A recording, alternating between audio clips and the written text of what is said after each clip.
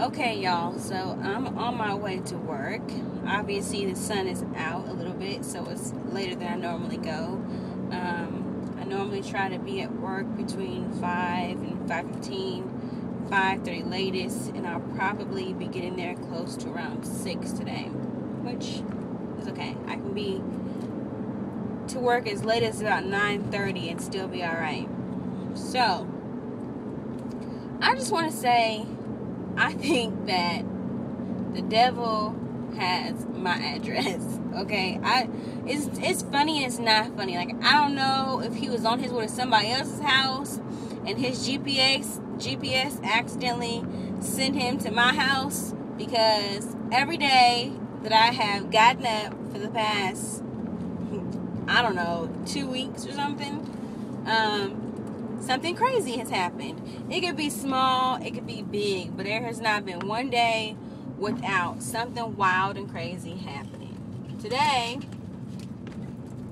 I woke up and I was getting dressed and stuff, and then um, my husband came in the house from work and he was he started eating the food I had cooked last night, but he was still hungry, so he said, you know, can you go to McDonald's for us?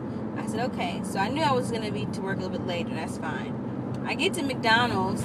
The screen is broken. The girl, bless her heart, messes up my order and gives me, and charges me, has to give me extra food.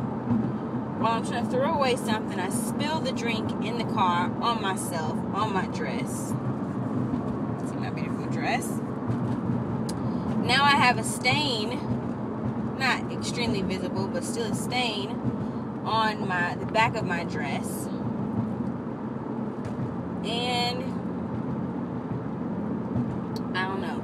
It's Thursday. That's how my morning started off. You know, yesterday my morning started off with me being up early at three o'clock in the morning trying to go pick him up and saw the car accident and all I'm saying is Lord Jesus I have one more day more day to get up and go to work. Then I have a long weekend ahead of me. Let's let's give that GPS that the devil has got on my house. Let's put a glitch in it and short it out so that he don't make it. Cause I want to enjoy my my weekend, my birthday weekend.